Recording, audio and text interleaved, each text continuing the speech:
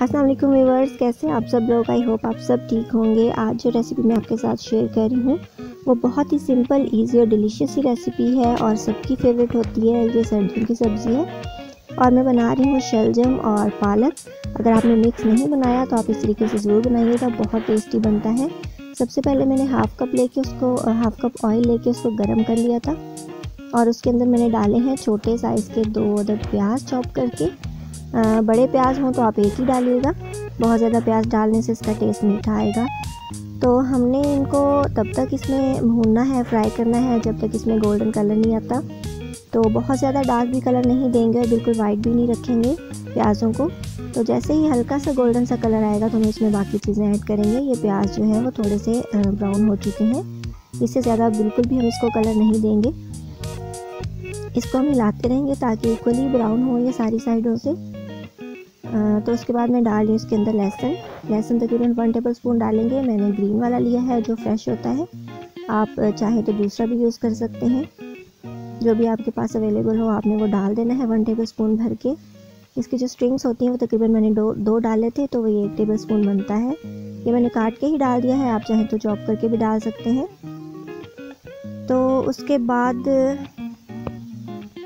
हम इसके अंदर डाल देंगे हरी मिर्चें। हरी मिर्चें मैं इसमें तकरीबन चार से पाँच अदर डाली हैं चॉप करके। ये भी मैंने चॉप करके डाली हैं क्योंकि जो शलजम है, उसको हम मैश करेंगे तो ये सारी चीज़ें जो हैं वो अच्छे तरीके से इसमें मैश हो जाएँगी। तो आप पेस्ट भी यूज़ कर सकते हैं। अगर आप पेस्ट यूज़ करते हैं तो अगर आपकी मिर्चें बहुत ज़्यादा कड़वी हैं तो उसको थोड़ी सी कम कर लीजिएगा क्योंकि जो शलजम है वो बहुत ज़्यादा स्पाइसी अच्छे नहीं लगते। तो मिर्चों को डाल के साथ में हम मिलाते रहेंगे। थोड़ा सा पानी का छींटा लगा देंगे ताकि मसाला नीचे नहीं लगे। उसके बाद इसमें डाल रही हूँ मैं अदरक। अदरक मैंने जूलियन कट करके डाला है, इससे बहुत ही ज़बरदस्त सा टेस्ट आएगा।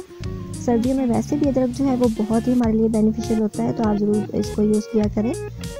तकरीबन एक इंच का टुकड़ा था अदरक का, छोटे वाला। तो वो तकरीबन वन टेबल स्पून ही बनता है, वो मैंने चॉप करके इसके अंदर डाल दिया है। आप चाहें तो पेस्ट भी डाल सकते हैं।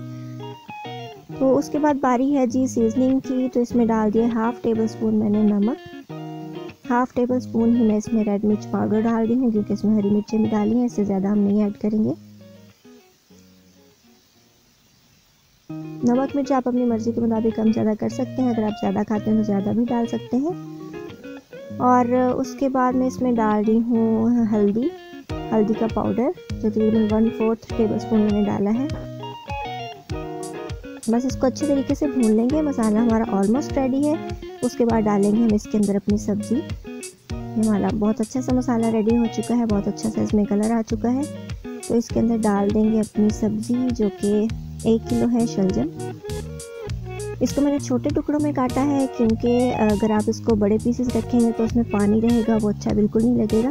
तो ये छोटे छोटे टुकड़े अगर आप करके डालेंगे तो ये एक तो जल्दी गल जाएगा और दूसरा इसकी जो लुक है वो बहुत अच्छी आएगी। शलजम डालने के साथ ही मैं इसमें पालक ऐड कर दूँगी। और पालक जो है तकरीबन दो कप बनती है। ये जो एक गुटी होती है, उसका भी तकरीबन चौथा हिस्सा थी, बहुत ज़्यादा नहीं थी। तो ये हमने डाल देनी है पालक इसके अंदर। इसको मिक्स कर देंगे अच्छे तरीके से। पालक भी अपना पानी छोड़ेगी, जो शलजम है, उनमें से भी पानी रिलीज़ होगा। तो आपने इस बात का ख्याल रखना है कि इसमें बहुत ज़्यादा एक्स्ट्रा पानी हमने नहीं डालना। और सर्दी में तो गैस वैसे ही बहुत कम होती है, हल्की आँच पे अगर हम सब्ज़ी को रखते हैं तो वो अपने ही पानी में पक जाती है एक्स्ट्रा पानी ऐड करने की ज़रूरत नहीं पड़ती। और अगर आप एक्स्ट्रा पानी ऐड कर दो तो वो बिल्कुल भी ड्राई नहीं होता। तो इसलिए आपने ध्यान रखना है, हमारे मसाले में भी थोड़ा सा पानी था, जो पालक धोई है, उसमें भी थोड़ा सा पानी था। तो ये थोड़ा सा पानी हमें नीचे आ रहा है। और जैसे जैसे नीचे नज़र आ रहा है, जैसे जैसे हम इसको हिलाएँगे तो ये पानी साथ साथ छोड़ती जाएगी सब्ज़ी।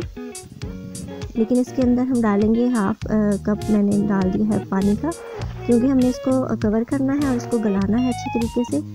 क्योंकि अगर हम इसमें पानी नहीं डालेंगे तो जो शलजम है, पालक तो गल जाएगी, लेकिन शलजम नहीं गलेंगे।